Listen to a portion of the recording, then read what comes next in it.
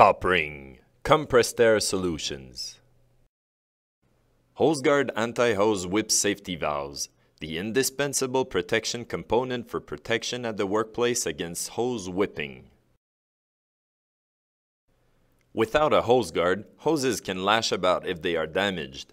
This can cause serious injuries and material damage. The hose guard is installed between the pressure regulator and the hose. This prevents the hose from whipping. Minimal compressed air flows through the bypass.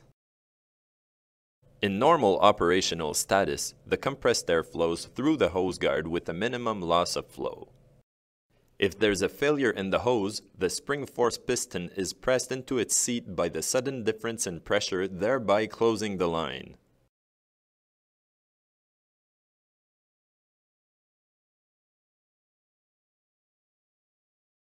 Once the damage has been repaired, the flow through the bypass bore causes automatic reset.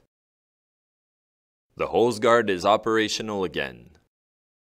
Safety at the workplace has been established once more. HoseGuard anti-hose whip safety valves are available in various connection sizes.